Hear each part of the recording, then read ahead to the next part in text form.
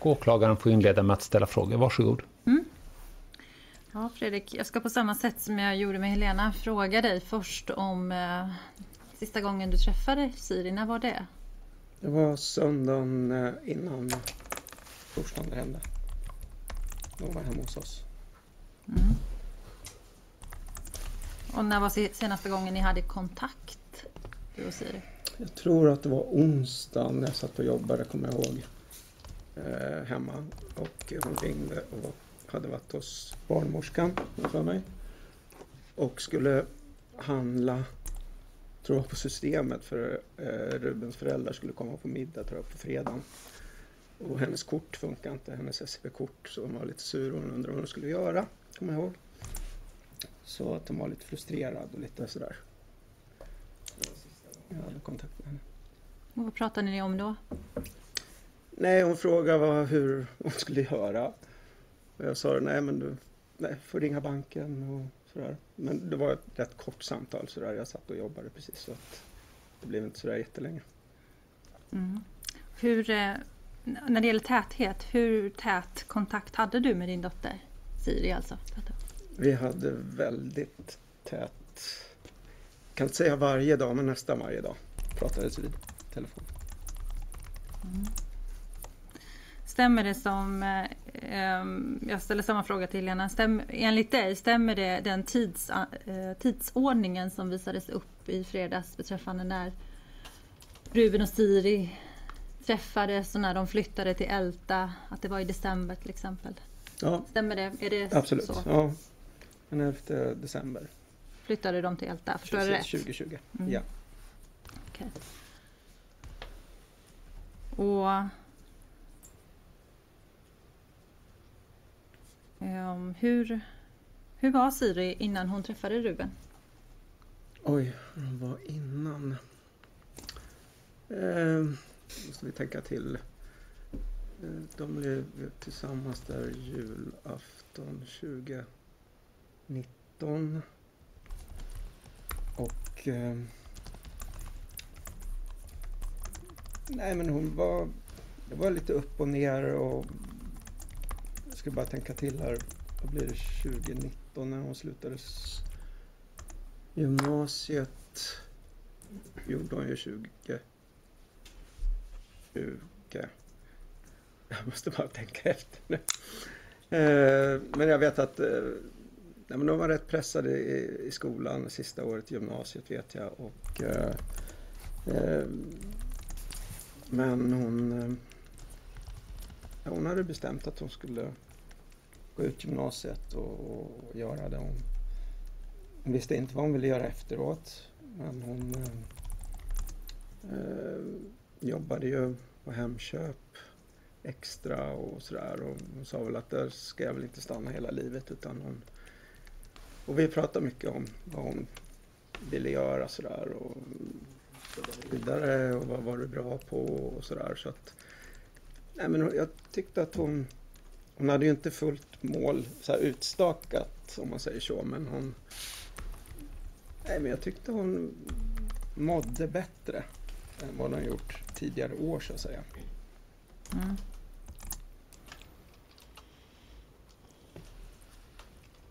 Sen förstod jag det på dig som att eh, Ruben och Siri blev ihop julafton 2019. Ja, det är så Siri sa i alla fall.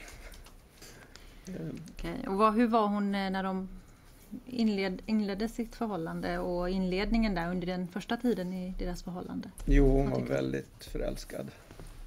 Det vet jag väldigt tydligt. Hon, hon bara pratade gott om Ruben och, och så. Och, eh, så att nej, men det kändes som att hon var väldigt lycklig då.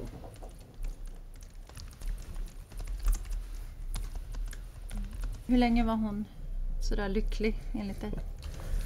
Um, ja, alltså, jag kan väl säga att det,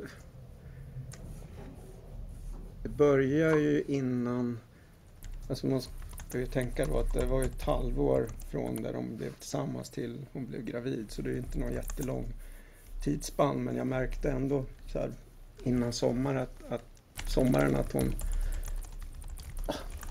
hon sa vissa saker som att hon, hon tyckte att Ruben var lite kontrollerande, att, han, att hon inte fick göra vissa saker och, och sådär.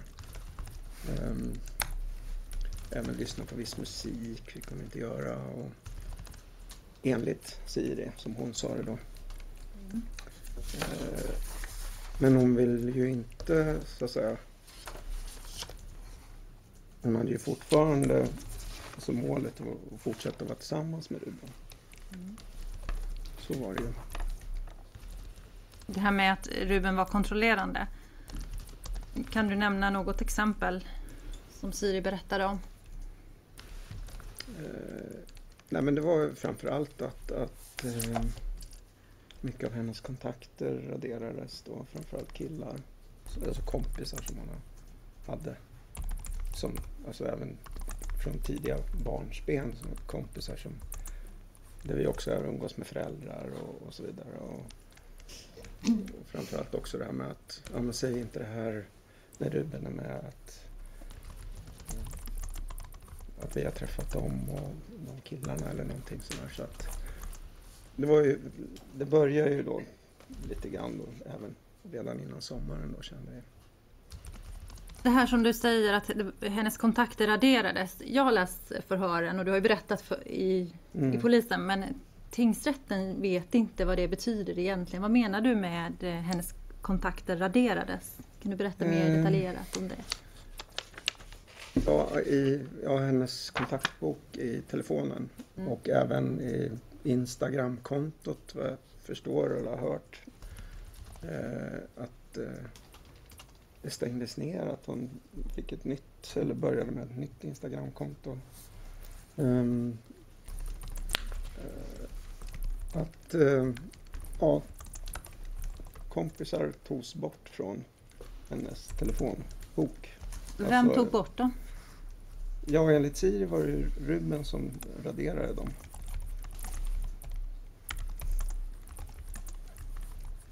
Och varför gjorde han det, enligt Siri?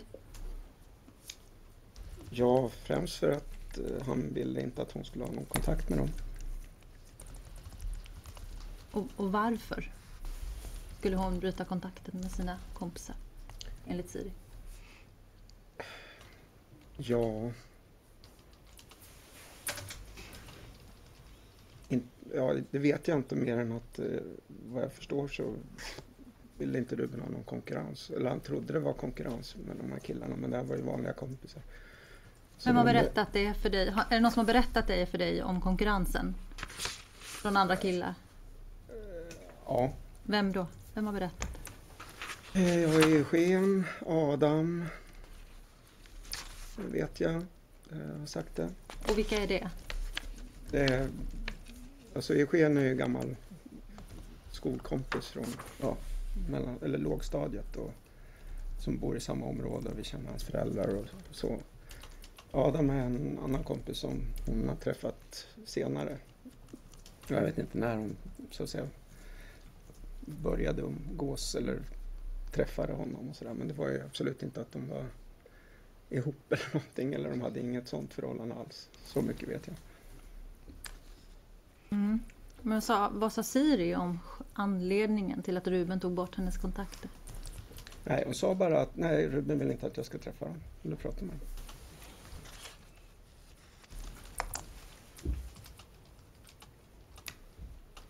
Och när var detta hon berättade det? Ja. Var 20, ja, vad kan det vara? Det var väl under sommaren. Alltså då, jag tror det var sommaren 2020. Och sen framåt. Under hösten också. Eller delar av tidiga hösten. Hur blev det mellan Siri och Ruben från det att de fick veta att de var gravida? Spänt kan jag säga. Eller det, det, jag blev jätteförvånad själv. Jag vet att jag satt på vårt landställe och när Siri och Sonja och Helena ringde. Och på något sätt så kände jag nästan på mig det när de ringde. Jag vet inte varför jag kände på mig det men och då nästan så jag förekom säger Ja, är du gravid? Fast hon sa det då. Ja, jag är gravid. Så här. Och jag blev jättechockad. För jag kände så åh gud, det är alldeles för tidigt. Och tyckte jag då. Och, um, och vi pratade om det här med om man skulle behålla det och sådär. Ja, ja, ja, absolut, så jag ska behålla det. Hej, ja, jag tänkte ju att ja, men nu går du lite fel ordning. Det är ditt val, men så börjar med att bli gravid och inte utbildat dig och så vidare. Så att, eh, då tänkte jag okej. Okay. men hon sa ju då att ja, men, hon sa ju som vi är gravida så att ja, men det var hon och Ruben som då, så skulle bli mamma och pappa då. Eh, och jag, jag, vet inte om jag frågade så där, men hur tar Ruben det här? Och, ja, han är lika chockad ungefär som, sådär, väldigt sådär, att, eh, att det var så. Eh, och det här var ju på sommaren då, 2020. Eh, sen så kan vi säga att hon...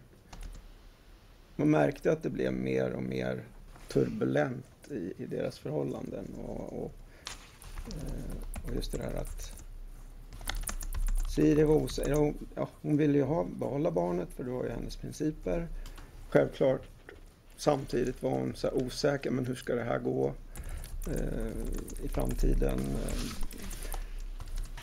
Och, eh, och jag visste också, eller som Siri sa då, och även Ruben när vi var hemma hos oss, att han inte var sådär beredd på det här.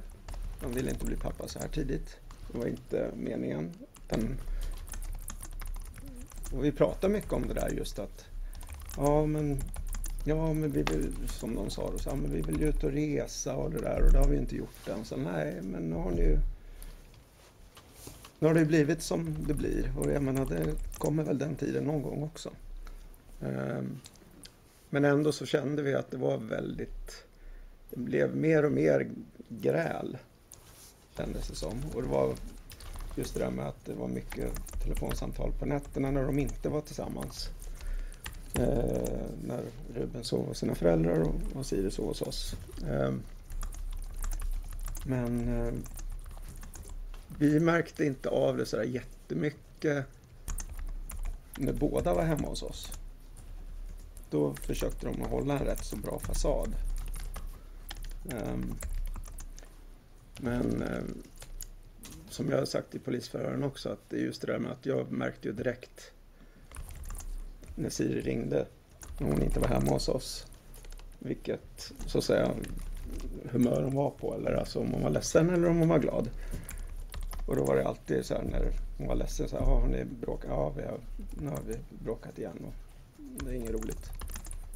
Så att det var väldigt tydligt, ofta var det så, det var väldigt så här upp och ner, upp och ner. Mm. Nästan varje dag. Är det deras förhållande du pratar mm, om? Precis. När du gör ja. Mm. Du, hur många gånger ringde Siri och var ledsen över att de hade bråkat? Oj. Säga 20 kanske.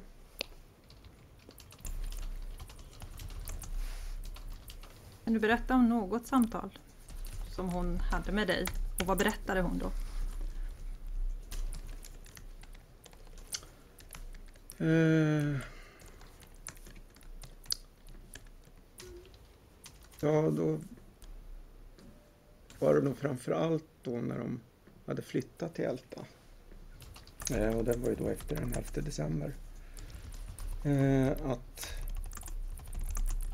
då hade hon kanske stängt in sig på toaletten och så sa nu skriker Ruben på mig igen och jag, och jag vet inte vad jag ska ta vägen. Och, ehm, och, det, och jag, jag menar till skillnad mot Helena, jag är rätt känslig och sådär och inte tänker kanske, jag tänker mer så här, okej okay, Siri, ska jag hämta dig eller inte? Eller vad vill du? Så här.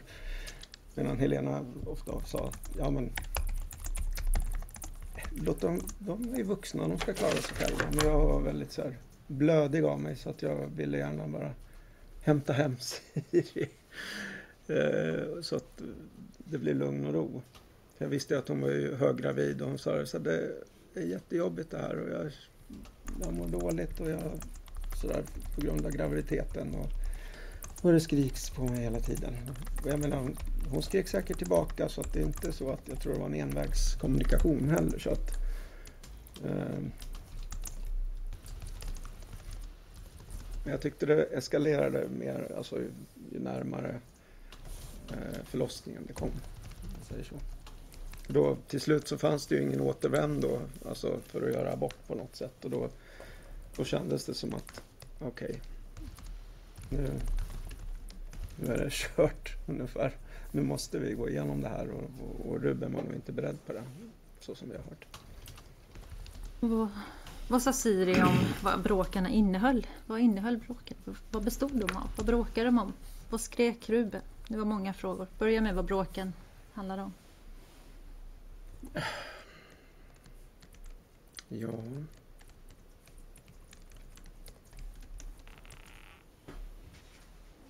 Kunde vara att någon gång hade Siri träffat någon kompis på stan, Rubens kompis, och sagt hej.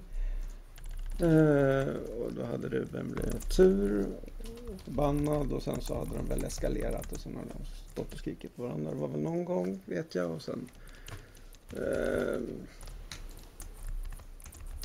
jag vet att det var mycket diskussioner Eh, vem som gjorde vad hemma när de hade flyttat hemifrån. Vem som diskade, alltså sådana triviala saker som man tycker egentligen. Ehm, som då inte slutade med att okej, okay, utan det fortsatte och sen så skrek man mer och mer. Och eh, det blev mycket sådana bråk, vad jag förstod. Ehm, ja. Sådär, typ sådana bråk. Har du hört honom skrika någon gång på Siri?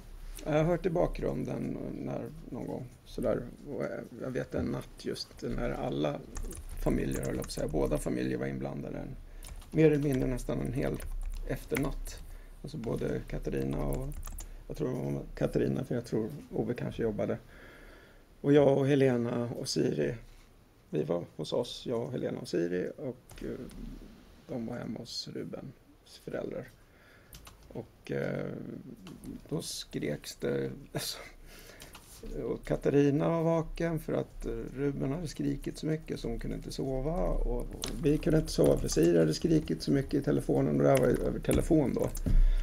Um, och då hörde jag eh, när Siri pratade med Katarina vet jag i telefon typ så halv sex på morgonen eller någonting och då vaknade båda familjerna hela natten nästan.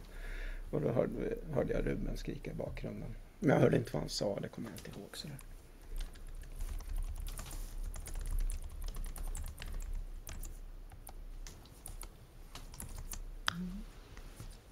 Du sa att eh, du, ville, du ville åka och hämta hem henne.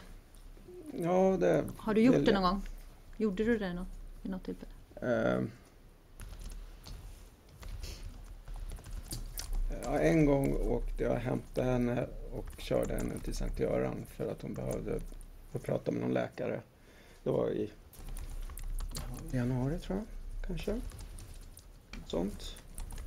Eh, för hon behövde få någon slags medicin. Alltså istället för sin ADHD-medicin då.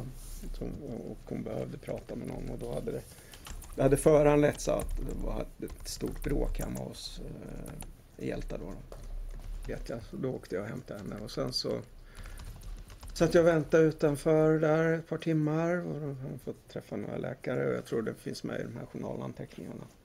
Jag kommer inte ihåg, exakt ihåg vilket datum det var men um, hon, uh, ja, hon ville rådgöra om hon kunde ta någon av medicinerna för, att, för sin egen skull så att säga då. Men och under, och under tiden så hade så frågade jag så här, ja, men ska vi åka hem när hon var klar? Då ska vi åka hem till oss? Eller så, Nej, nu, hörru, nu har jag pratat med Ruben och nu, nu är det lugnt. Så jag, åker, jag kan skjutsa hem mig till Älta istället. Så här. Eh, och då känns det, nej. Och jag ville inte helst det, men det var ju hennes vilja. Så att, eh, och då gjorde jag det. Annars har jag nog inte hämtat hem henne sådär. Jag har frågat sådär, ja men ska jag hämta dig? Så, nej, nej. Det ska du inte göra. Så Mm. Saken, det är ju rätt kort period vi pratar om egentligen nu. Utan det är ju från december till ja, april då, då, eller mitten av april. Så att det är ju, den andra biten bodde hon hemma hos oss då. Alltså som pappa, vad, vad, pratade ni någonting om hennes relation till Ruben och hur den var? Berättade du någonting eller vad, sa hon någonting till dig och hur gick de ja. samtalen? Jo, hon pratade mycket.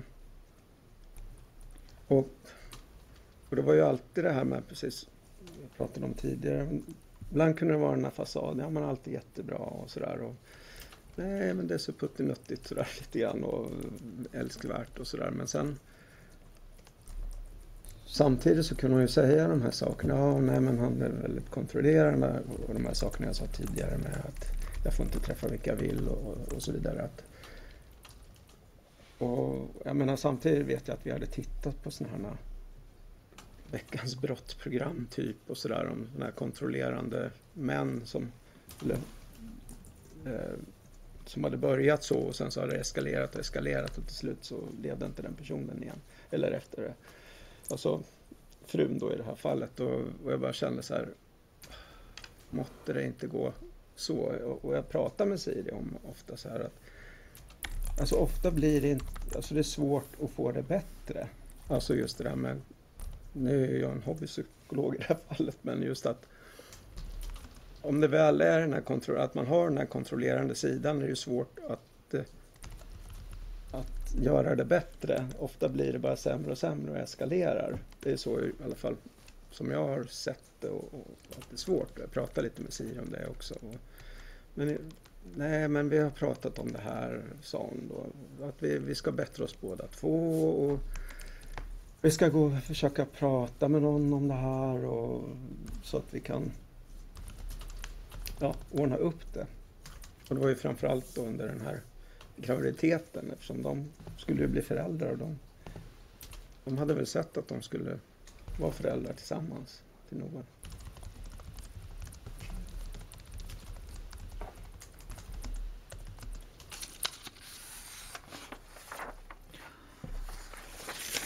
Sen vet vi att eh, Noel föddes 18 mars. Ja. Mm. Hur var Noels relation till Siri? Noels relation? Ja, vad, hur, vad, hade, vad hade Siri och Noel för relation? Ja, eh, nej men Siri var ju väldigt sådär beskyddande och ja men hon verkligen ville, jag menar det var ju så kort tid som hon hann uppleva Noel och hans utveckling men hon ville verkligen eh, att han skulle få en bra uppväxt eller bra framtid. Hon var väldigt orolig för den framtiden som han såg. Tyvärr. Men hon var, alltså hon, hon var väldigt sådär mån om Noel. Absolut. Och hon var verkligen älskvärd mot honom. Och kände verkligen att hon tog ansvaret att, att ta hand om Noel. Nu kanske jag missuppfattade men var, var Siri orolig för Noels framtid? Ja. ja. Varför var hon det? Nej men hon såg ju, ja men dels att de var unga båda två och sen att de redan hade det här stormiga förhållandet. Och att, att eh, hon var orolig att, ja, att, att han skulle få uppleva en, en väldigt orolig uppväxt mm. och, och stökig uppväxt. För det hade det sa hon ju rätt tidigt att det var alltså, bråkigt hemma. Att, att han fick uppleva mycket skrik och bråk hemma, alltså Noel, under den korta tiden han fanns där. För, när de var på förlossningen, jag har förstått att de var där några dagar. Mm. Uh, hade du någon kontakt med Siri? Ja, då? det hade jag. Kan du berätta vad det var som, vad Siri sa till dig, vad som hade hänt? Det var ju så att de, de fick ju... De var ju tvungna, alltså Siri och Ruben var ju tvungna att vara tillsammans hela tiden. Siri, Siri ville, som hon sa i alla fall till mig, hon ville prata med någon men då skulle också Ruben vara med. Alltså de var tvunget att vara så. Eh, och ehm, de tyckte det var jättejobbigt.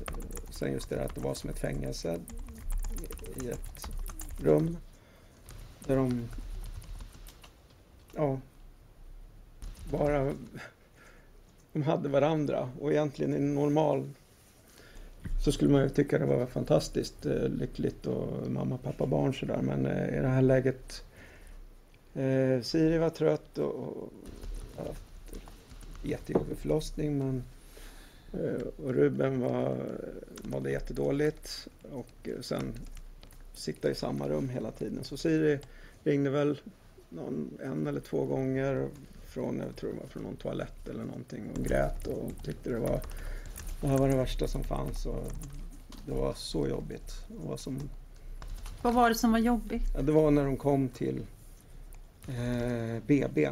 Alltså förlossningen hade varit okej.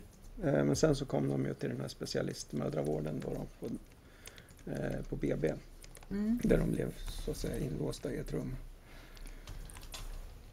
Och det tyckte Siri var jättejobbigt. Och det tyckte Ruben också var ännu jobbigare tror jag. Eh, Men varför, va- berättade Siri om varför det var jobbigt? Ja, att, att Ruben mådde dåligt och skrek väldigt mycket och, och sådär. Och att, att de fick inte ha Noel hela tiden för de fick lämna bort honom någon natt då, eller två nätter kanske det var, jag kommer inte ihåg. Och jag sa så här, ja men det är väl skönt att ni får sova då. då. Ja, jo, förvisso, men det är inte riktigt så jag hade tänkt mig mina första dagar med mitt barn. Eh, att behöva lämna bort honom för att eh, det var så stökigt runt omkring. Så att eh, det var väl kanske inte den bästa tiden. Det var absolut inte den bästa tiden för varken Siri, Ruben eller Noel Mm. under de här dagarna. Vad hade de pratat om, hon och Ruben, under de här dagarna? Ja, dels var det ju att, att eh, Ruben ville inte ha Noel eh, alls. Eh, det var inte... Ville helst adoptera bort honom. Eh, lämna bort honom. Och, eh, och han kände ingen samhörighet egentligen till Noel på det här sättet.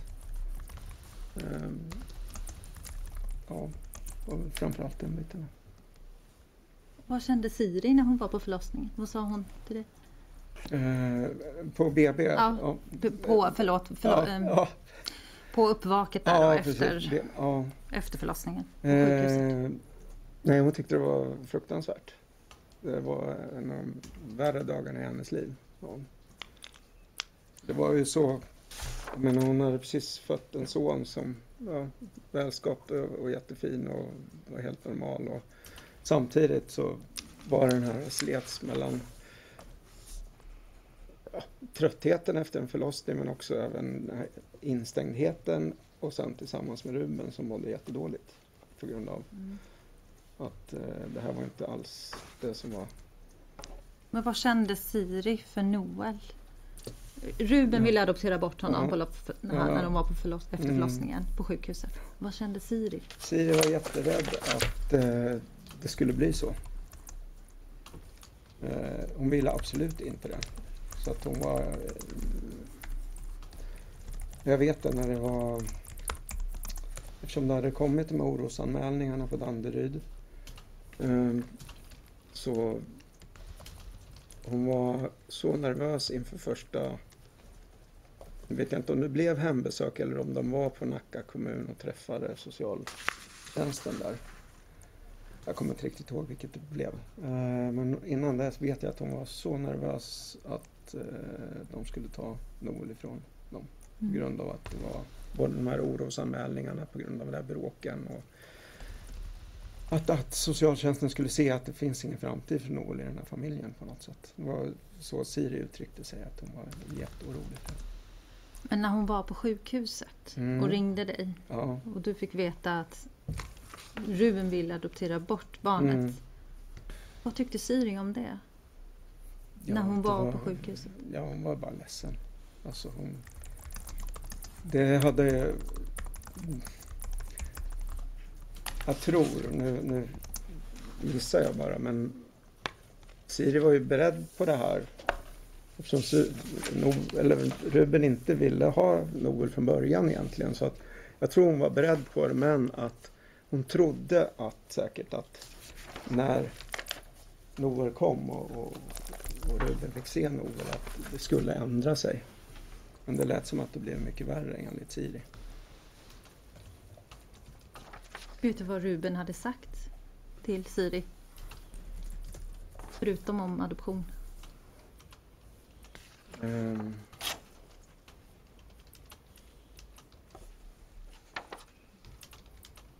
Nej, ja, det, jo men dels var det det här med, med hudfärgen då. Att nej, det här kan inte vara mitt barn, sa Siri sådär. Att, att Ruben hade sagt. Men eh, ja. Det är väl egentligen det enda som, jag, som hon sa just om den biten.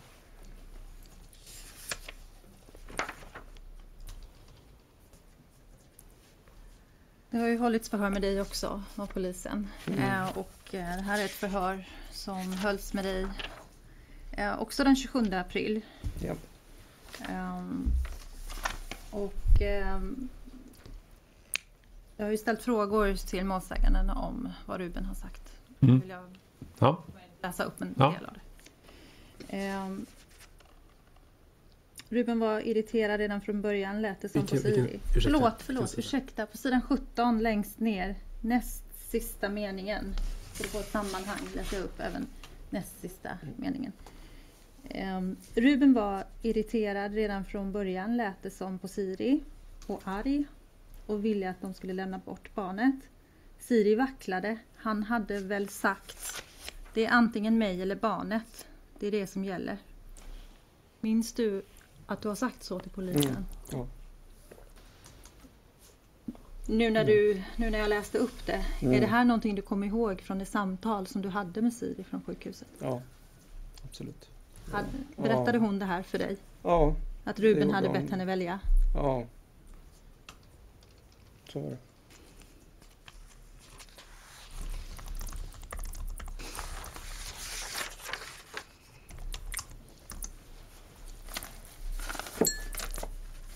Sen har ju det, eh, Helena berättat att eh, hon hämtade hem Noel och Siri. Mm. Och vad är din uppfattning eh, om hur Siri och Noel mådde hos er den där första tiden? Eh, det, hon var såklart fortfarande ledsen. Hon tyckte det var skönt att få komma hem så att säga till oss. Eh, lite lugn och ro. Ehm, men det var ju redan då, då som, som hon började prata om det här och var ledsen för vad, vad är det för framtid Noel eh, så att säga ser hos oss. Eller vad, vad, men hon vill ju så gärna för hon, men hon älskade ju Noel, det märkte man ju så tydligt. Alltså, hon, hon hade honom hela tiden här och bar honom. Och, så att, eh,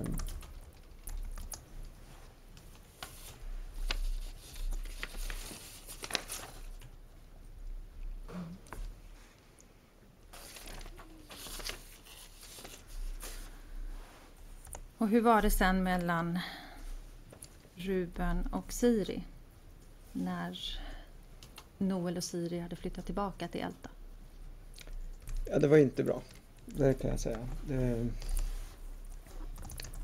eh, Siri kom ju i omgångar till oss. Eh, och bodde ibland någon natt, två nätter. Eh, ibland sa Siri att ja, men det berodde på att ja, men Ruben behövde lugn och ro och plugga. Som kan mycket väl ha varit. Ehm,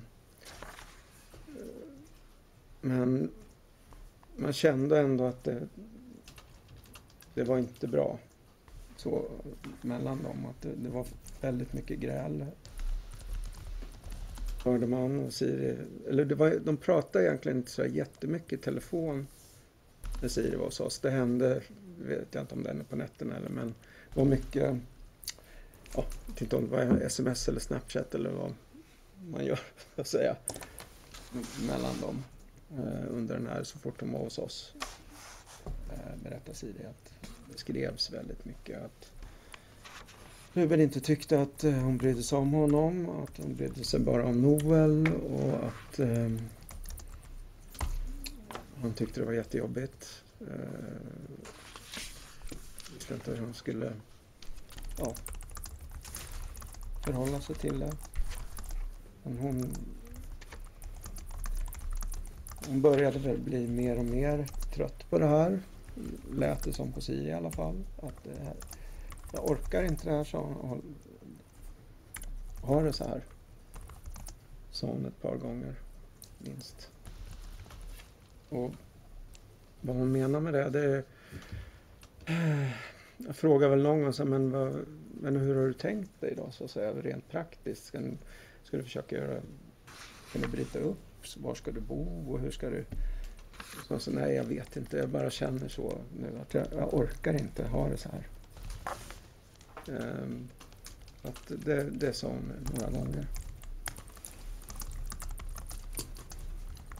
Förstår jag det rätt att det här, nu pratar du om slutet på mars, början på april? Ja, just det. Det är det vi pratar ja, om. Efter Stäm, stämmer det? Ja, precis.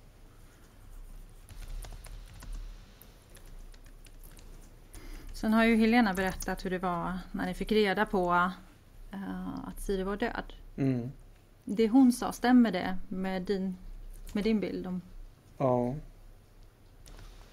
Uh, det gör det. Uh, jag vet att det var vid åtta som Katarina ringde precis.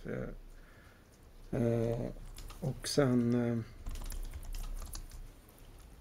tror jag typ halv nio att eh, jag bara, för jag kände på mig att det var någonting som hade hänt, alltså något mer allvarligt. Så jag bara gick in och screenade på Aftonbladet så där och såg och då var det första som kom upp så här, grovt våldsbrott i Hjälta och då förstod jag att nej, det här är, det här är så att säga Siri.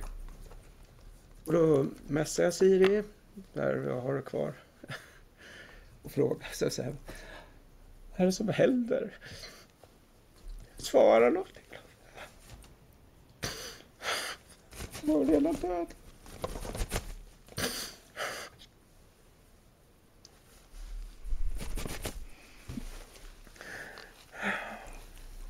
Och jag förstod direkt nästan när jag, när jag läste det där Aftonbladet, det här, det här är inte bra. Eh, så, så jag vet jag gick på övervåningen och bara tittade ner på vändplanen och väntade och väntade tills att bilen skulle komma. Och jag visste att den skulle komma. Och det gjorde den till slut. Och då förstod jag att då var det bekräftat på något sätt.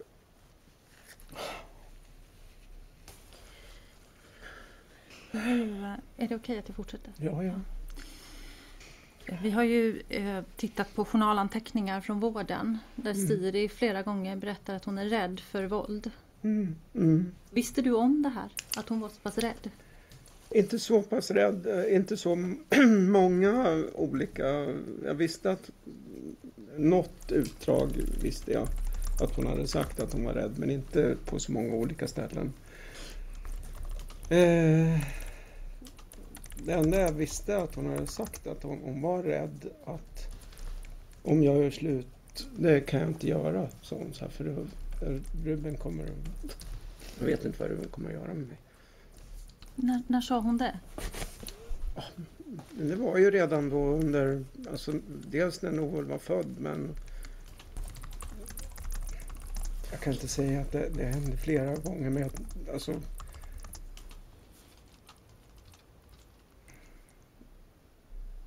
Jo, men framförallt var det när, när eh, Noel var född.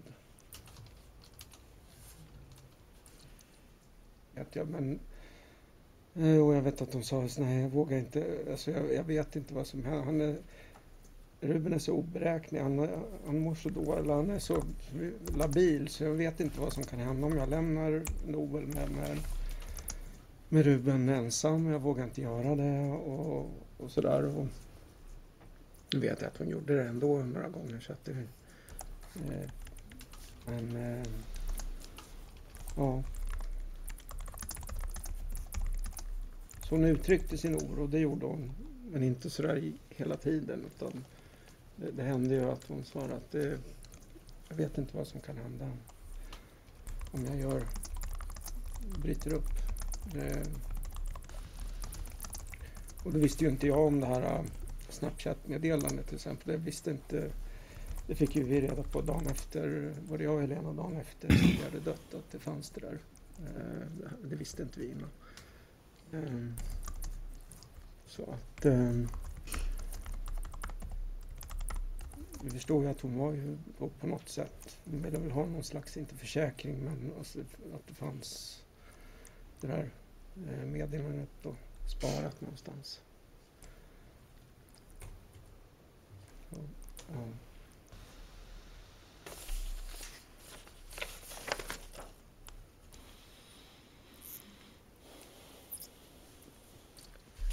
Bara en fråga till har jag faktiskt.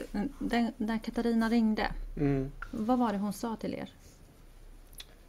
Eh, jag hörde inte riktigt hela, men jag hörde väl kanske halv, eller, eh, halva samtalet eller lite mer tror jag. Ehm, jag hade det på högtalartelefon, eller Helenas högtalartelefon.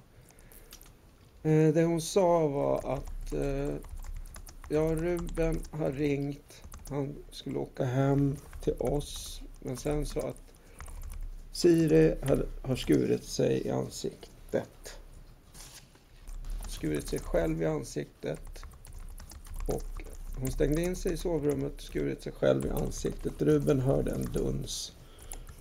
Eh, och polis och ambulans är på väg. Ruben har inte gjort någonting.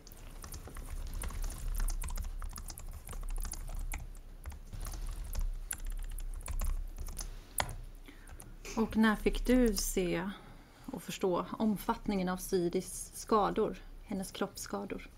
När fick du se det? Se fick jag i fredags. När fick du veta omfattningen av hennes skador? Eh, söndags. Eh, eller förra söndagen. Alltså, alltså den omfattningen av alla de knivhuggen vi visste ju inte om riktigt vad som hade hänt. Så mer än att... Eller, ja. Mer än att hon... Vi förstod ju att hon var skadad då när vi sa farväl till henne. Och, ja, kapellet. Vi, Eller begravningen du pratade om? Nej, innan då man, när vi fick säga hej då till henne när de inte visade hela kroppen eller de visade bara delar av ansiktet. Då förstod vi att ja, men hon var skadad på den sidan.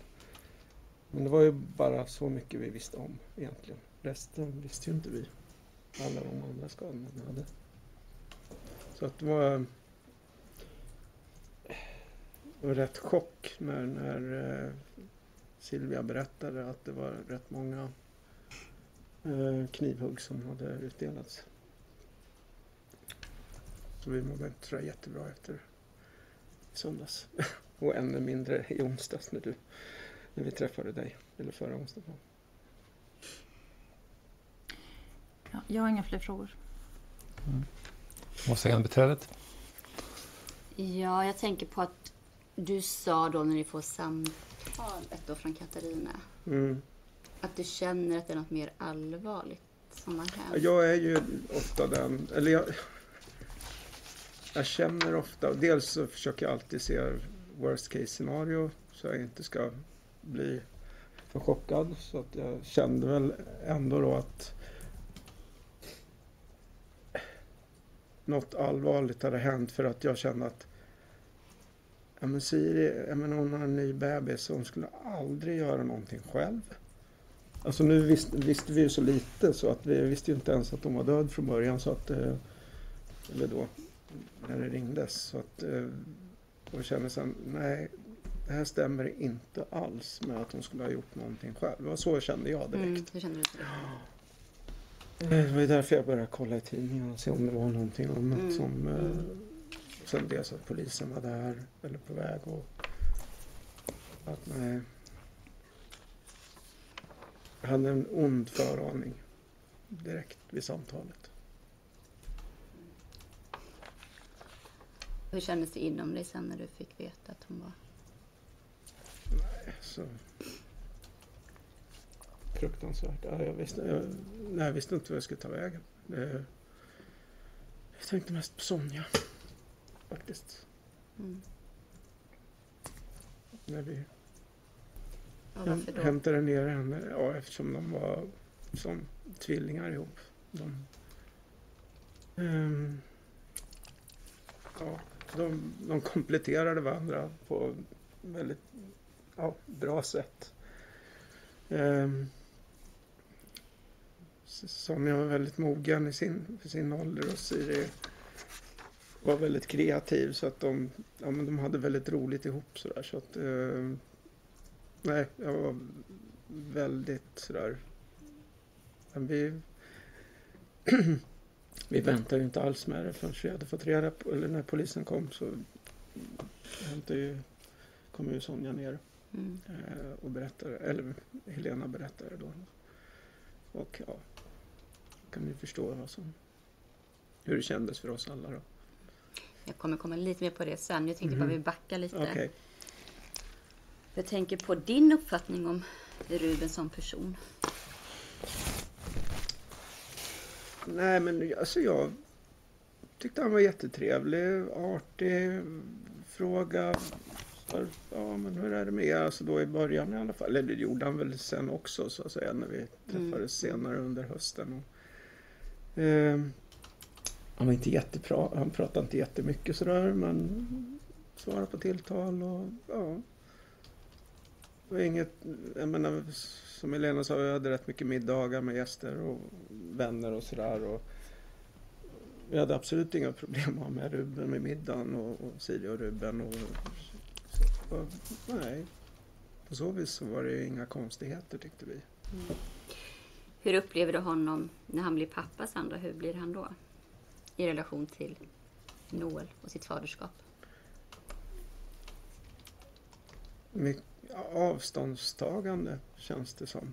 Mer att han eh, egentligen börjar plugga, mera med skolplugg, eh, med sina, vara med sina kompisar mera, spela paddel mycket. Så. Om, omhändertagande mot Siri när hon var nybliven mamma och hade genomgått en förlossning? Det var nog både och. Alltså när hon var hemma hos oss så var ju Ruben väldigt omhändertagande. Jag vet det under påskhelgen då när de var på middag hos oss. Och eh, Siri mådde, hade väldigt ont i magen vet jag. Då hade ju Noel fötts då. Men, eh, och då var ju Ruben med sådär, och hjälpte Siri och så. så att, eh, men det var ju hos oss då. Mm, men vad, när det inte var så, vad, ja. hur var han då mot henne? Eh, egoistisk tycker jag. På vilket sätt? Ja, att tänka på sig själv mer än att tänka på Noel och eh, Siri. Han tänkte nog på Siri på det sättet att jag vill ha Siri för mig själv. Men, mm. Men, men Ruben, eller Noel kom emellan på något sätt. Och, och, och det tror jag Ruben kände och väldigt väl. Mm. Du har gett en uppgift i förundersökningen du hördes av polisen om hur han såg på sin ekonomi och så. Är det något du... Eh, och där, där kom vi från Siri då. då. Mm. Så att, eh, men Siri sa ju att, att, att Ruben hade sagt att nej men, varför ska jag hålla på och slita och tjäna massa pengar och sen så ge det till och lägga det på Noel när jag kan använda dem själv. Eh, och. Det var vad Siri sa i alla fall. Mm. Så att det... Under, under sakframställan här, både från åklagaren och också från Noels målsägandebiträde så har ju vissa brev gått igenom där han skriver. Har blivit förvånad när du ser saker som han skriver om Noel eller Nej. Hur, man, hur han ser på sig själv? Nej, jag trodde inte riktigt att det var så illa men jag är inte jätteförvånad. Nej. Det är jättetråkigt att läsa det dock. Men... Eh. Och när du berättar om de här skriken och det bråk. Eh, har du någon uppfattning hur de... Nu blir det kanske, jag ska inte ställa en ledande fråga, men det varit i förhållande till varandra, hur de har varit, när, eller hur Ruben har varit mot när han skrikit på henne och sådär? Eh. Rätt ja, men aggressivt, om det är så du menar, alltså hur man... Eller, mm. Mm. Sen så har säkert, som jag sa tidigare, Siri skriker tillbaka. Hon har säkert inte bara stått tyst och, och det, det, tror jag inte om jag känner Siri rätt. Har hon berättat Men, om något fysiskt problem hon skulle kunna få av hans skrik? Ja, jo, eftersom han skrek väldigt högt och rätt nära örat mm. eller öronen så sa hon att hon var rädd att få tinnitus. Och vet du, har eh, hon berättat om, det kommer säkert hans förs Rubens försvar komma in på det här, det var bråk med ett stryptag inblandat? Eh, ja. Har hon berättat om det? Ja, det var framförallt en av de gångerna när och det var ju när hon var gravid då. Eh, någon gång, jag vet inte om det var på hösten eller om det var efter jul. Men hon var rätt höggravid i alla fall. Så hade, och det var väl nere i Älta tror jag, i deras lägenhet. Då hade han skrikit så högt rakt in i örat att hon till slut ja, mm. tog bort honom så här. Hon ja, tog väl vad hon sa så där över halsen. Det var för att få bort honom från örat? Ja, han skrek? Ja, ja. Fick nog som hon sa. Men... Hur kändes det när hon berättade det här? Att hon höll på så här? Nej, alltså det känns ju jättetråkigt, förfärligt. Att, att, um, framförallt när, när Noel hade kommit. Uh, att de fortsatte att skrika, eller han mm. skrek. Mm. Um, så att det, det... Ja, nej, det var jättejobbigt. Och du sa att hon, att hon var rädd för att lämna Noel själv med Ruben. Stämmer det? Ja, och sen så... Det var väl mera som hon sa att ja, men, nej, men han känns labil och han vill ju inte ens ta hand om honom så att jag vet inte varför. Nej, så hon var lite rädd för att han inte skulle ta hand om Noel. Mm. Nu var det inte några längre perioder som Ruben hade hand om Noel så vad jag förstår. Men, eh, nej, men det var väl så hon kände då. Och du beskrev också bråken och skrik. Gjorde Ruben något mer än att han skrek? Nej, slå i dörrar vet jag. Och jag vet inte vem det var. Det var väl någon incident. Men det var väl ungefär typ väldigt tidigt. Tror jag. Alltså när de hade flyttat till lägenheten att de hade slagit i en dörr så hårt så att eh, gångjärnen gick eller någonting sånt där. Det var någonting som gick sönder. Mm. Och jag vet inte vem det var som gjorde det heller så att det... Men det var... Nej, inget annat sådär mer än att eh, ja, det slogs i dörrar och ja. Det var jag minns i alla fall. Så att. Mm. Om vi då går nu till situationen idag och efter då den 15 april. Mm. Helena berättade att ni fick, och Noel kom till er där vid midnatt. Ja, han kom vid ett mm. tror jag. Mm. Och hur har nu situationen, du berättade för er, det var en chock för er, men hur har det varit att hantera sorgen? Hur har det gått i samband med nu att ni också är, ni är inte bara morföräldrar, ni tar ju också hand som föräldrar om. Ja, alltså det är ju ett det är väldigt alltså, mixed feelings. Alltså, det är ju mm. fantastiskt att få ta hand om Noel. Och vi, alltså det, det är det vi har kvar av Siri. Och det, Alltså, så för oss finns inte ett annat, något annat alternativ. Eh, samtidigt så visst, det håller oss uppe och, och alltså going eh, och att vi orkar. Men negativa är att vi har ju inte riktigt hunnit bearbeta sorgen så. Vi försöker ju hålla ihop och vara starka då, både gentemot Sonja så att hon ska få den stöttningen som behövs men, men även Noel då. då. Så att det, nej, vi har ju inte riktigt kommit dit än. Och det vi har alltså kunnat Alltså det, visst, det pyser ju ut då och då självklart att man blir ledsen och för minsta lilla sak. Och, eh, men det är väldigt svårt att arbeta samtidigt kan jag säga. Väldigt svårt att koncentrera sig. Och jag tänker på, Helena fick ju samma fråga, men hur ser du som pappa på att din dotter inte fick vara mamma mer än längre än en månad av hennes liv? Hon skulle blivit en fantastisk mamma.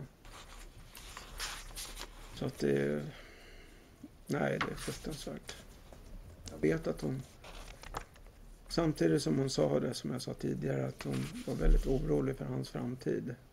Att de skulle klara av att ha honom så kände jag att hon ville så gärna få honom. Och jag menar, hon hade till och med satt honom i kö på Viktor Rydbergs skola redan så att säga. Jag vet inte om det var när han föddes precis typ dagen efter eller någonting.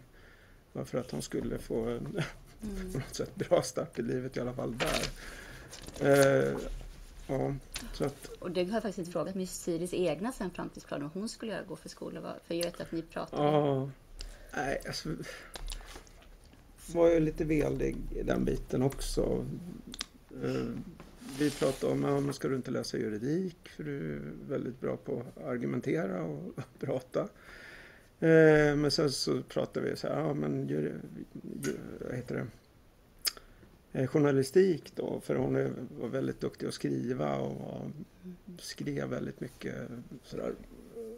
Ja, ja, jag vet inte, ja, kanske sådär. Eh, först skulle hon vara mamma då tills mm. i alla fall. Men det fanns i alla fall en, alltså hon ville plugga Ja, jo det ville hon ju. Hon sa att jag kan inte sitta på Hemköp hela tiden. och hon såg ju att hon ville göra någonting mera av sitt liv. Tack, inga fler frågor. Någon fråga? Ja, tack. Bara, en, ja. bara någon ytterligare fråga, Fredrik.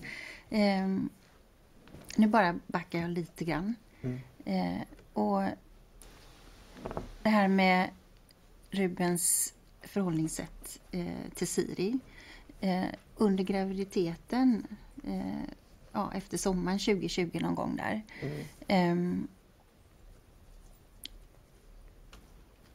Fick du till dig någon gång av henne att hon ville lämna Ruben då?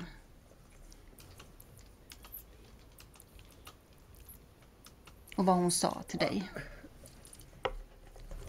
Ja, alltså hon sa nog att hon ville men hon vågade inte. Eh, dels på grund av ja, det som jag sagt tidigare med att hon var rädd för Ruben men också att hon ville egentligen inte bli en ensamstående mamma. Mm. Kommer du ihåg mer, nu är det ett tag sedan förhöret mm. var, men kommer du ihåg eh, om hon uttryckte lite mer så att säga vad, vad Ruben skulle ha har sagt till henne rent konkret. Eh, det du beskrev nu var ju hennes känsla så att säga. Ja, nej, det hon sa var ju att, att, att Ruben hade sagt att uh, han skulle göra henne illa och, och hela hennes familj illa. Mm. Det var vad hon sa att han hade sagt. Mm.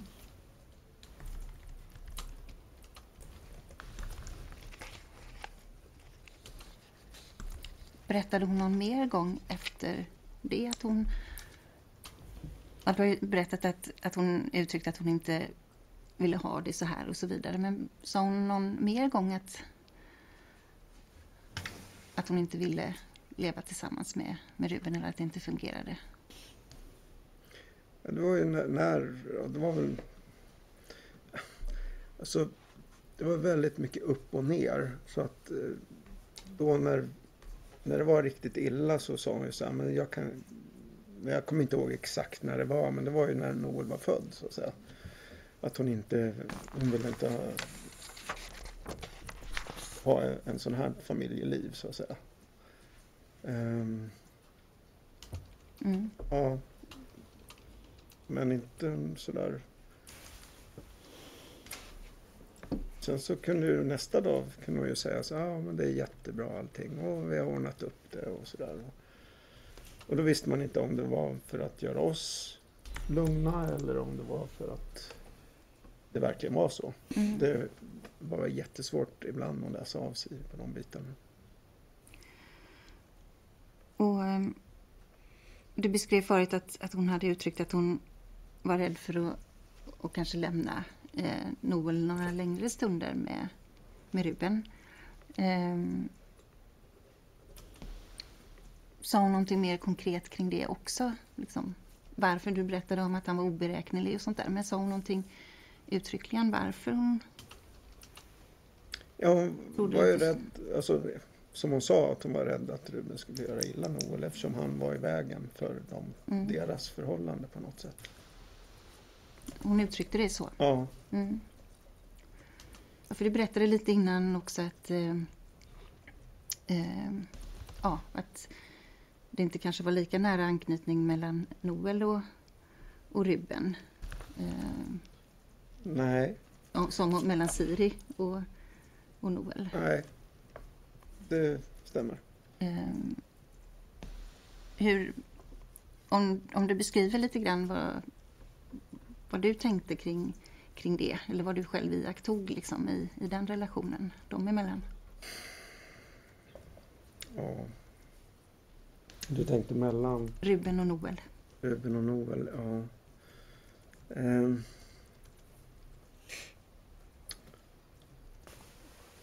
Nej men... Så som jag kände det i alla fall, eller såg, så var det ju Siri som ofta tog hand om Noel. Uh, och uh, Ruben var väl inte direkt intresserad mm. av, vad jag förstår, av att uh, ta hand om Noel på det sättet. Alltså att, jag vet ju att han byter blöjor och, och, och sådär också så att det inte alltså helt avståndstagande på det sättet. Men det vet jag inte om det var för att Siri sa till honom nu byter du blöjor. Hon kunde vara rätt så sådär dominant av sig ibland.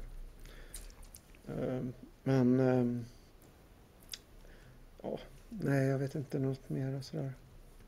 Ehm, pratade han om, om Noel eh, med er eller hur, hur eh, uttryckte han sig kring Noel så att du hörde?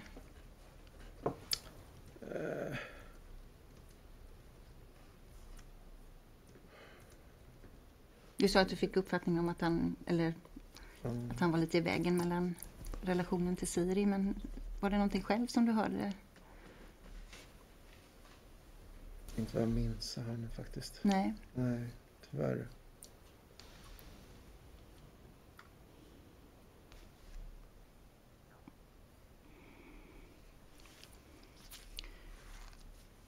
Um, så det här när du får till det att, att Ruben inte eh, vill ha Noel eller att han ska adopteras bort eh, och att han inte kände någon samhörighet med honom som du beskrev tidigare. Är det någonting som Siri har sagt till dig eller är det någonting som du har fått till dig av Ruben själv? Tror, alltså, så som jag känner det, vi, träffade ju egentligen inte Ruben så jättemycket efter Noel hade fötts kan vi säga. Det var ett par gånger de var hemma hos oss där efteråt. Och... Nej, jag tror inte vad jag minns. Jag kommer inte ihåg om vi pratade om det sådär direkt med eller att Ruben pratade direkt med, med oss eller med mig om det. Mm. Att han inte ville ha Ruben, eller vad säger jag, Noel. Så. Mer än att eh,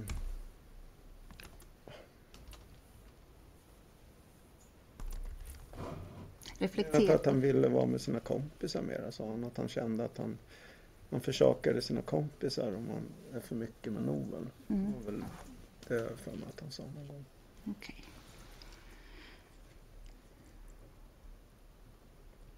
Reflekterade du någon gång om det skulle kunna bli ett, ett problem att han hade det sättet? Eller hur ja. hann ni tänka kring det? Jo, men såklart att att man så, om det är bara en förälder som är engagerad och den andra föräldern inte är engagerad så det blir väldigt svårt att vara en familj. Mm. Alltså i alla fall en harmonisk familj. Mm.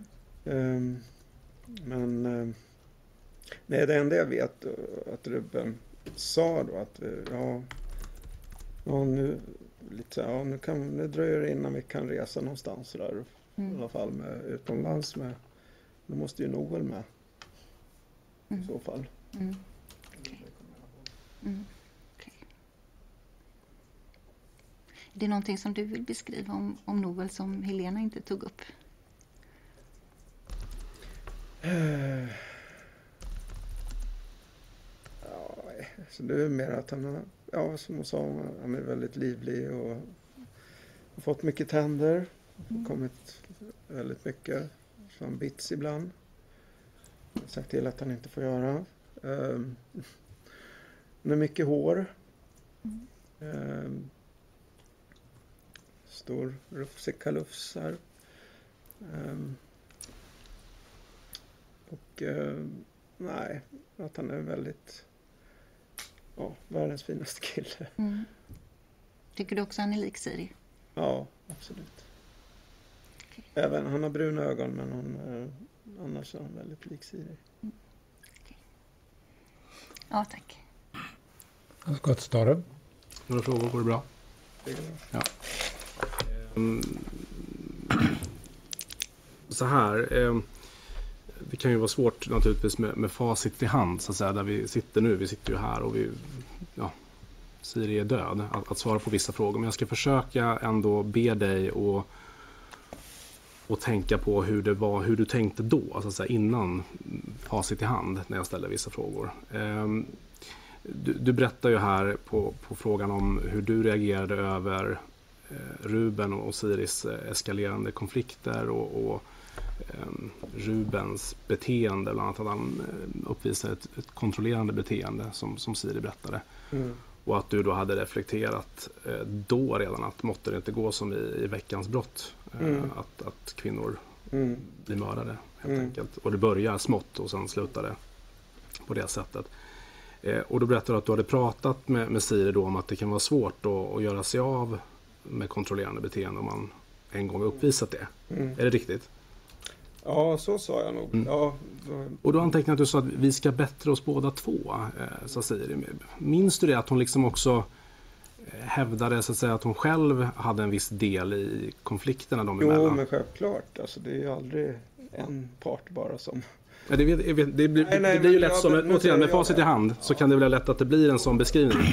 Jo, men självklart att eh, eh, ja. Det enda jag känner i alla fall med Siri var att hon, hon, var, hon var en väldigt dominant person. Eh, och eh,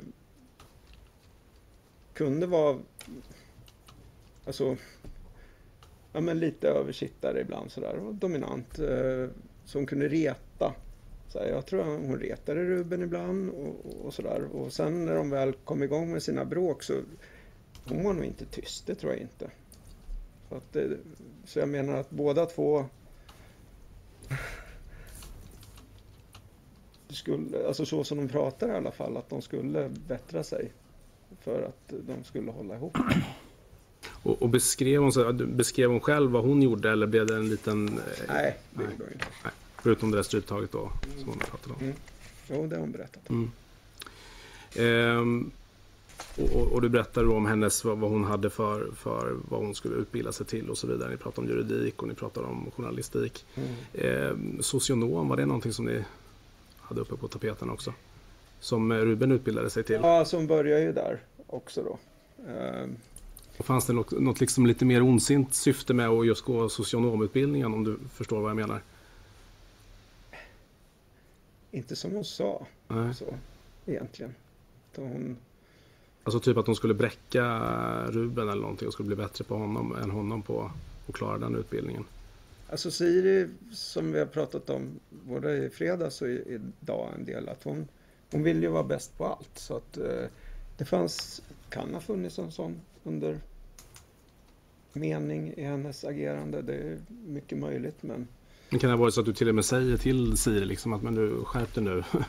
Det är inte det som ska vara det viktigaste att vara bättre liksom på, på Ruben på, på en viss sak. Det, det kan jag mycket väl ha sagt. Så, så att det...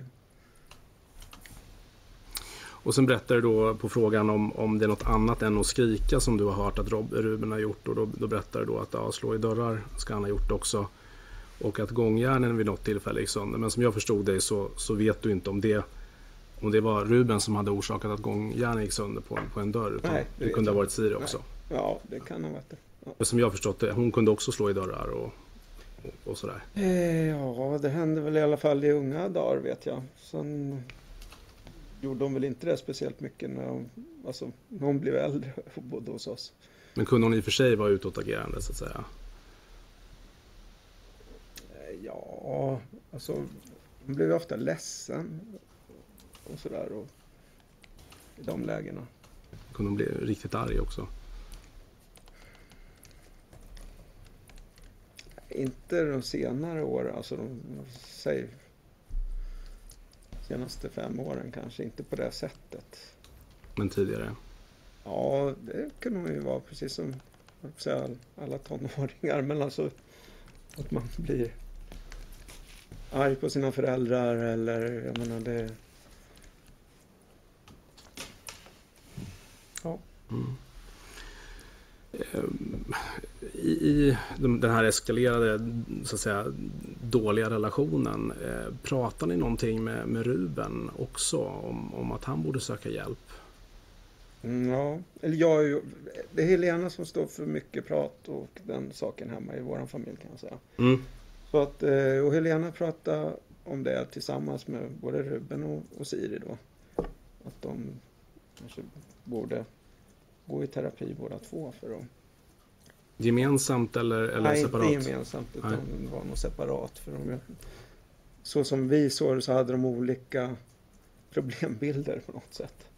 Och, och så att de kanske inte skulle gå i samma, i alla fall inte i början. Jag förstår. Och om du skulle sammanfatta kort, vad skulle du beskriva Siris problembild var och vad var Rubens problembild? Eftersom du säger att de hade olika problembilder. Så för Rubens del var det väl mycket att bygga upp eh, självkänslan efter sin skada framför allt och hitta sin egen identitet och, och, och den biten. Och för Siri var det väl mycket att hon, hon behövde hitta och hantera ja, konflikter framför allt sådär och, och kunna bli säker i dem och så mycket. Och då pratar jag inte kanske att alltså, kunna hantera sitt beteende i en konflikt utan mer alltså att kunna hantera en, en konflikt på rätt sätt och inte ta det på fel sätt. Men även där också då bygga upp sin egen självkänsla. Skulle du beskriva dem båda som, som känsliga personer? Eller bara... Ja. ja. Mm. Du, eh, avslutningsvis här, eh, återigen, det är lätt när vi sitter här och, och, och har uppfattningar, men direkt efter när du fick beskedet om att Siri hade dött, eh, vad, vad, tänkte du? Alltså vad for i ditt huvud kring vad det var som hade hänt? Eh, att, som jag sa tidigare, att det, att det finns inte på kartan att han har gjort det själv. Så kände jag. Men som Helena sa, att jag man sätter upp de här olika scenarierna. Att, eh, man hoppas inte på det värsta. Eller ja, när hon väl är död så är hon ju död. Sen oavsett hur det har gått till, det är en sak. Men alltså till slut, utan att veta, just det där med att, man, att hon skulle ha gjort det själv fanns inte för att jag menar, hon älskade Nobel och hon skulle aldrig göra en sån här sak. Så kände jag. Eh, och då försökte man då förmildra så här att nej men, alltså det måste vara, de har bråkat på något sätt och att det har, alltså, var så man kände direkt. Och sen samtidigt på något sätt innan vi visste alls någonting och innan vi egentligen gick till polisförhören så var det nästan som man kände, men, nästan som man hoppades att hon hade gjort det själv. In, alltså för att, alltså, jag menar, blir ju att mista både sin mamma och sin pappa på något sätt. Alltså Noel i mm. det här fallet. Så att, eh, men att de hade bråkat på något sätt säger du. Mm. Tänkte du någonting kring? Hur? Ja. Eller varför? Ja. Ja. Det gjorde jag. Hon hade ju haft sina kompisar hemma på eftermiddagen. Jag hade ingen aning om vad de hade pratat om men eh, jag tänkte ändå sådär, ja men nu eh, och som Siri sa, att, ja, eller hon sa inte det, men hennes kompis sa att han var rätt sur när han kom hem. Och att eh, och Siri blev trött på det här tänkte jag och, och sen hade hon väl försökt att göra slut med honom tänkte jag. Och sen så, ja, hade det så konsekvensen av det då. Tänkte du någonting på Rubens avsikt? Alltså, hade du några sådana funderingar?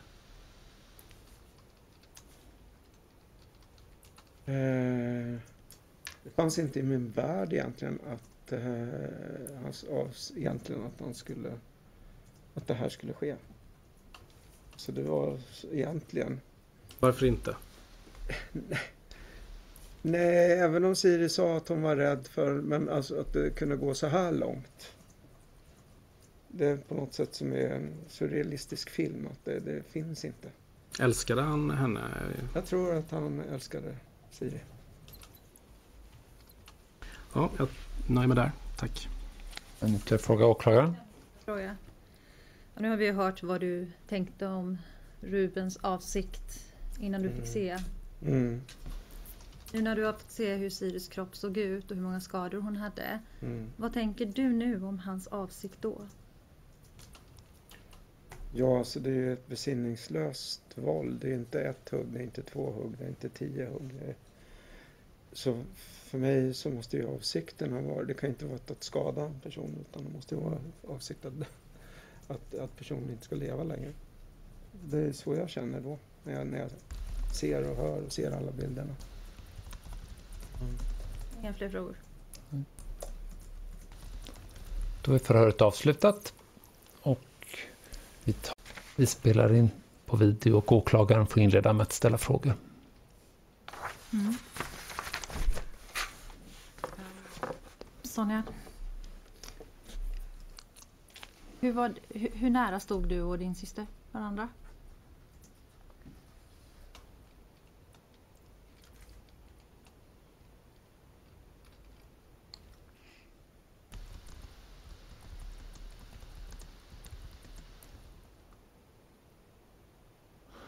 Frågar så här då. När träffade du henne senast? När var sista gången du träffade henne?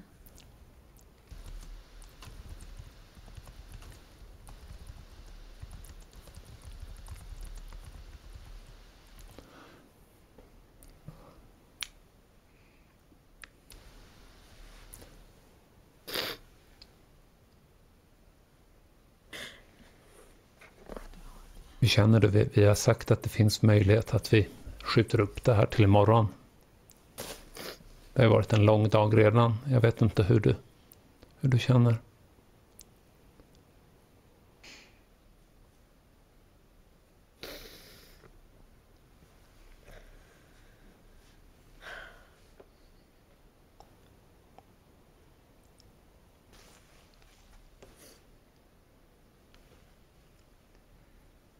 Det är två år mellan er, stämmer det?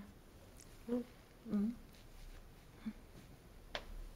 Förstår det rätt att ni bodde tillsammans ända tills hon flyttade till Älta i december 2020? Mm. Om du skulle beskriva det med dina egna ord, hur nära var ni varandra?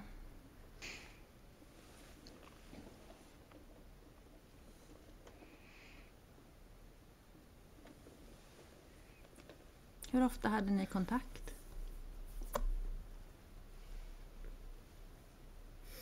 Nästan varje dag. Nästan varje dag. Hade ni det även efter att Siri flyttade till Älta? Ja. Och hur hade ni kontakt efter att hon hade flyttat?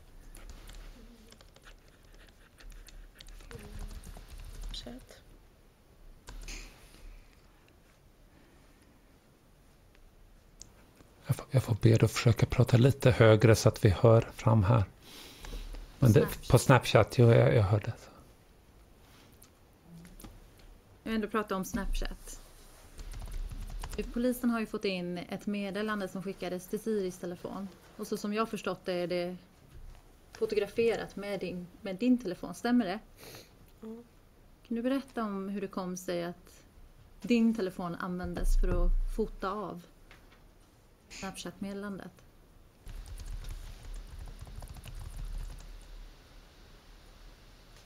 Det var... Eh, hon själv som tog det. Och Siri tog det här fotografiet på meddelandet. Mm. Varför gjorde hon det? Mm, jag antar att var väl rädd.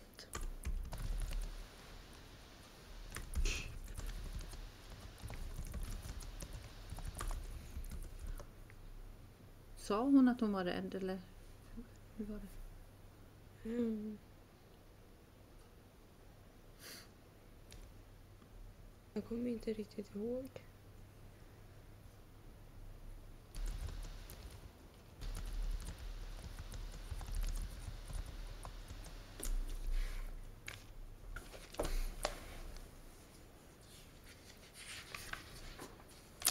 Här är ett meddelande. Och polisen fick det via dig. Hur Mm. många av den här typen av meddelande har du sett? Mellan Siri och Ruben?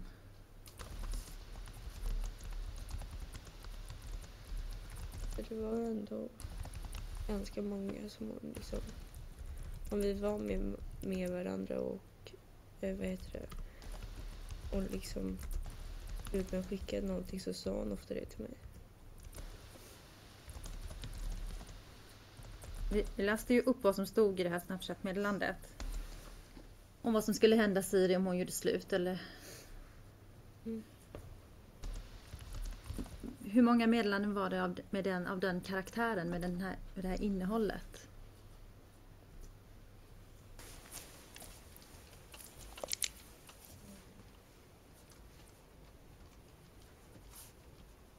Det är svårt att säga. Det, det var ändå li- ganska ofta som det alltså, hände. Och vad sa Siri när hon fick den typen av meddelanden? Ruben?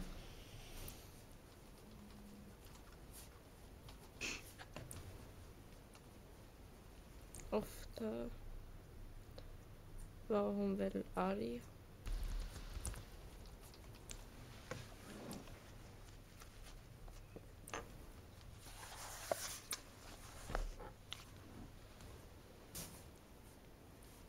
Men vad var anledningen till att din telefon användes för att fotografera? Kunde inte hon tagit ett snap eller ett vad heter det, screenshot på sin egen telefon? Ehm, nej, då skulle Ruben se det. På Snapchat så ser man liksom om man eh, sparar meddelanden eller om man alltså gör en screenshot.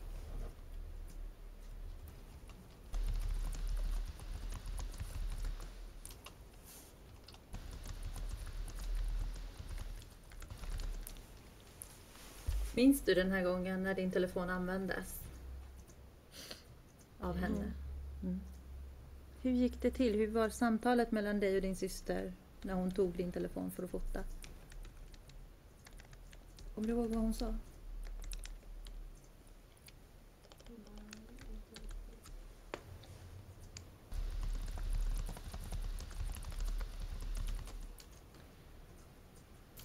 Hur var Ruben mot din syster?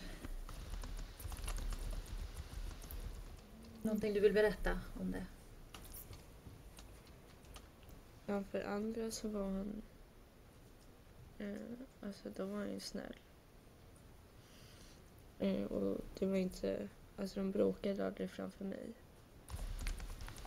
Eh, sen när... Alltså när de inte var med varandra, om Siri var hemma till exempel så... Eh, det kunde ju vara så att Ruben eh, skickade av sådana här typer av meddelanden.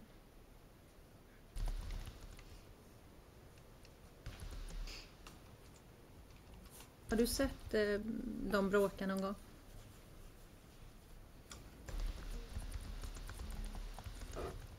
Inte riktigt när de har så här skrikit på varandra.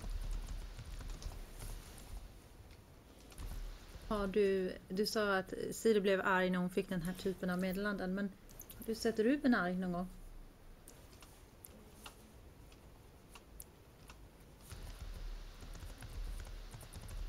Ja, alltså. Det, eller, jag vet inte om man kan säga att han var arg, men alltså. Det var en gång när eh, jag och Siri var i stan så råkade vi bara träffa på en av hans kompisar. Och då hälsade de, eh, alltså Siri och den här kompisen. Och sen kommer jag ihåg att när vi kom hem så eh, sa hon att Ruben var arg. Då märkte jag ju att han inte, han pratade inte riktigt med mig och han var mest tyst. Följde du med Siri hem efter att ni hade varit på stan? Ja. Och vem var i lägenheten då? När ni kom hem? Ehm, då var det Ruben och eh, Noel. När var det här? Tiden alltså? Kan du placera det i tiden? Jag förstår det som att Mm. Noel fanns då. Mm. Ehm, det var slutet av mars eller början av april. Men hur fick eh, Ruben reda på att Siri hade hälsat på en av hans kompisar på stan? Eh, jag tror hon sa det.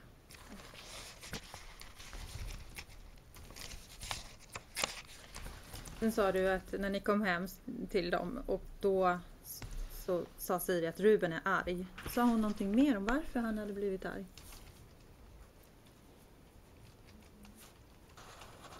Nej, alltså det var på grund av det här som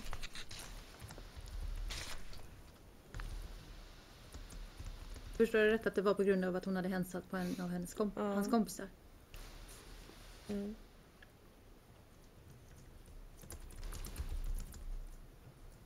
Hur tolkade du det? Varför blev han arg på henne? För att hon var artig på stan? Ehm, Fast jag förstod bara inte riktigt varför. Jag var liksom inte riktigt så att vi kunde undvika att inte hälsa på alltså honom.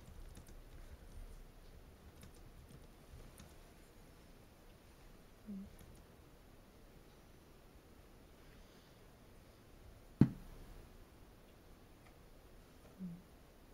Har Siri någon gång känt sig orolig för att dö?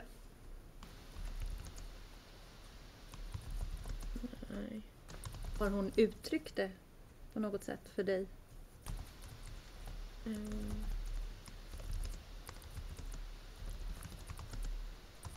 Nej, inte riktigt så. Bara att hon har varit liksom... Hon har varit rädd för att Ruben ska så här, skada henne.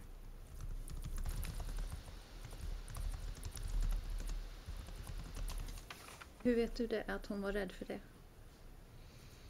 Mm, för att hon, alltså, hon sa det. Hon sa det till dig. Mm. Och, och när i tiden med det som hon sa det till dig?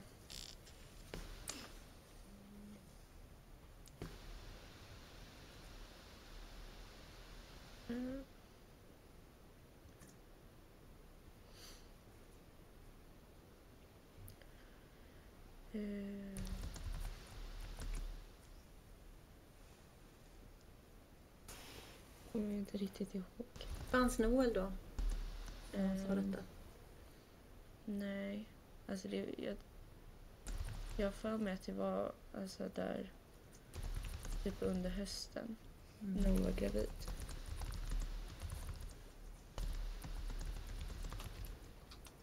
Sa hon om varför hon trodde att hon skulle bli skadad av Ruben? Det var vara att alltså om hon hade kontakt med någon som han inte tyckte om eller om hon alltså, lyssnade på typ den alltså någon musik som han inte tyckte om. Och Berätta om det här med musiken. Hur fick han reda på vad hon lyssnade på för musik? Ehm,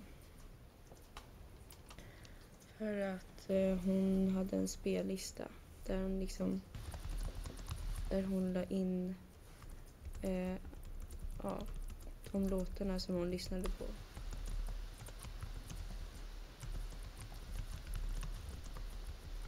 Var den delad på något sätt, den här spellistan? Eh, ja. Ehm, eller jag tror det är så att alla liksom kan gå in och lyssna på den. Mm. Eh, men sen så delade vi Spotify, Du och? Siri. Ehm, så det var vissa låtar som hon la in i min eh, spellista för att hon sa att Ruben inte alltså, fick se att hon lyssnade på det. Vad var det för typ av musik? Så typ svensk hiphop. Och, och sa Siri någonting om varför hon inte skulle lyssna på det här enligt Ruben? Mm. Nej, egentligen inte. Och om du gör en egen bedömning, varför, varför var det så? Att han skulle bestämma över hennes musikval?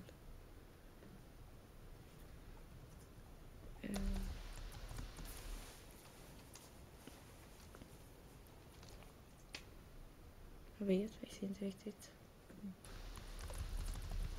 När var det som hon började lägga till låtar på din lista och undvek sin egen lista? När i tiden är det här? Eh, eh, typ från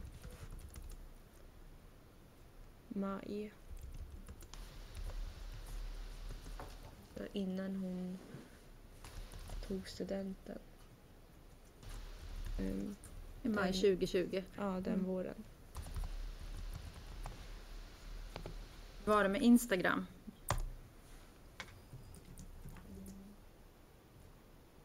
Finns det något att säga om Siris beteende på Instagram? Från det att hon började träffa Ruben. Hon ehm, skaffade ett nytt konto. Ehm, och jag förstod egentligen inte varför. Eh, men jag tror jag faktiskt jag frågade henne.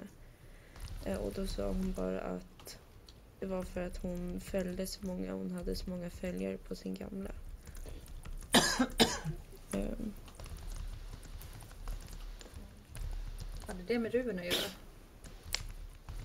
Från, eh, på hennes nya Insta så eh, accepterade hon typ ingen förutom alltså de närmaste. Liksom. Och ofta inga killar. Vad sa Siri själv om att killarna skulle uteslutas som följare på den nya Instagram?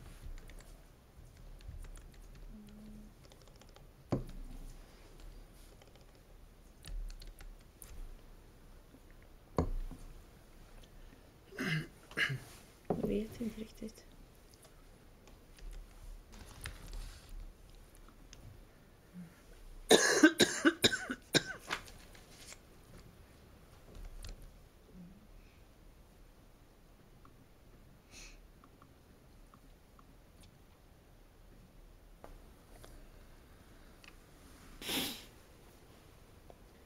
Hur, vad kände Siri i slutet? Efter att, efter att Noah hade fötts, vad kände Siri för Ruben? Deras förhållande? Um, hon var... Mm. mm, mm.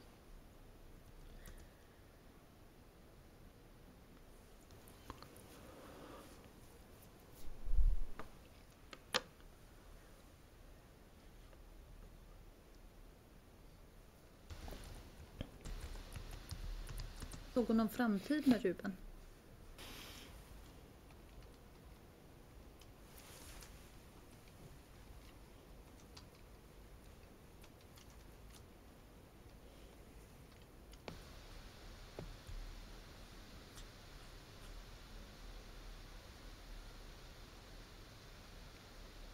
faktiskt inte.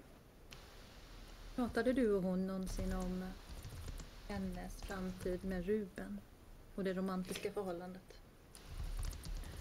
Mm. försökte undvika det. Du försökte undvika det? Varför då?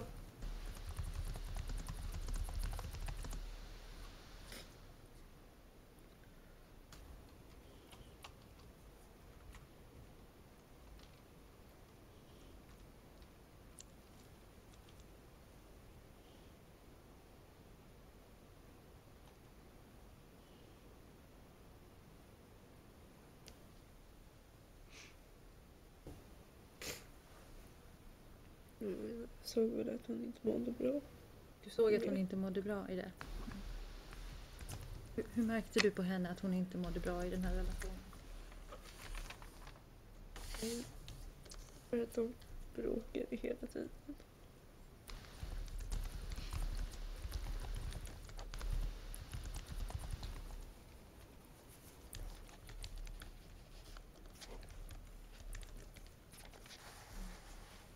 Förutom kontrollen över hennes musiksmak och killkompisar, gjorde, mm, enligt vad du vet, har Ruben försökt kontrollera Siri på något annat sätt?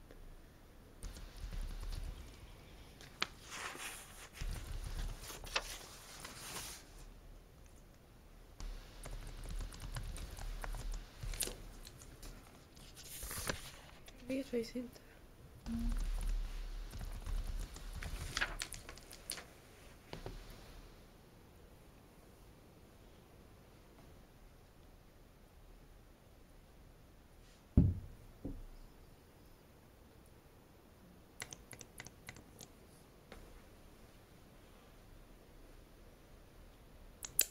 Gjorde någonting med hennes telefon?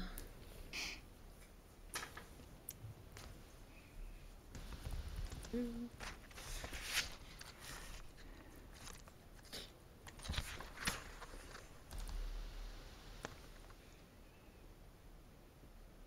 Vet jag att han kollade i den. Du vet att han kollade i den? I alla fall var inne på Snapchat. Hur vet du det, att han kollade i den? Man kan kolla så här på eh, kartan och se när, eh, alltså, när personen senast var aktiv. Och då kunde jag se det typ när jag vaknade på morgonen att eh, hennes telefon var aktiv för bara några timmar sedan.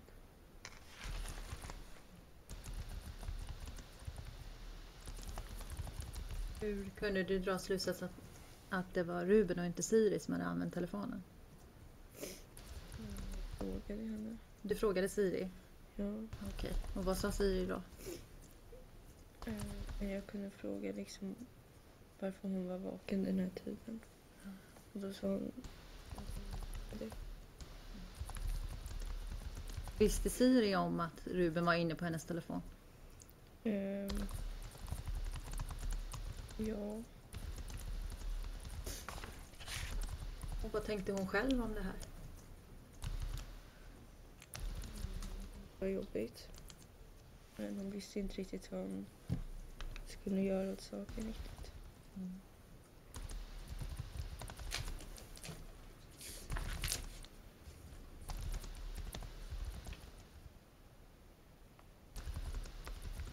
Hur var det med Siris fokus efter att Noel hade fötts? Vem fokuserade hon på?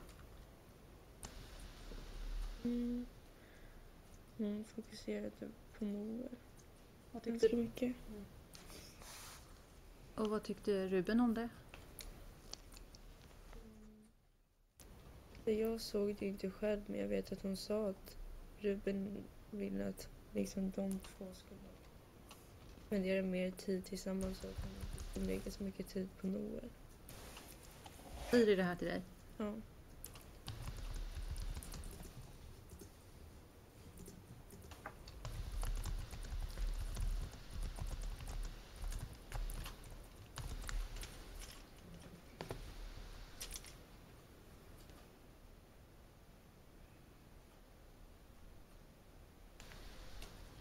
Vad hade Siri för flam- framtidsplaner?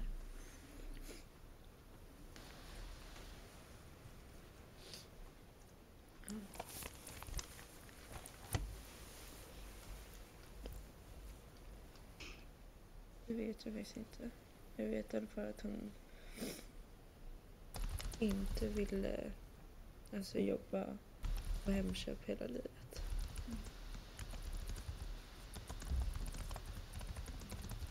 Ja, men eh, vad hade hon för planer på som till sommaren här? Den sommaren som precis har varit.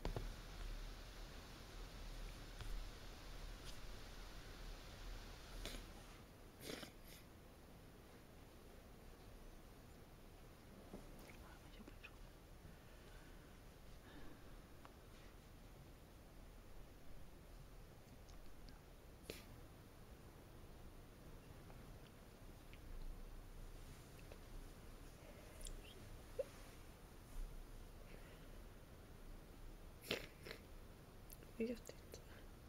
Pratade du och hon om, om vad ni skulle göra i sommar? Ja, Vad pratade ni om?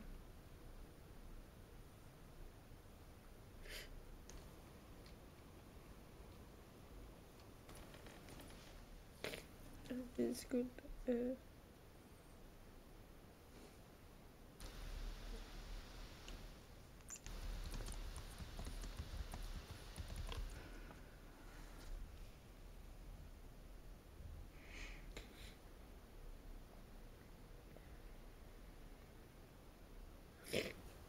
vi skulle resa bort. I Noel. Du och hon och Noel? Mm. Var skulle ni resa? Vad hade du tänkt? Eh, Barcelona. Tolkar jag det rätt att det här var en semesterresa ni hade planerat? Mhm.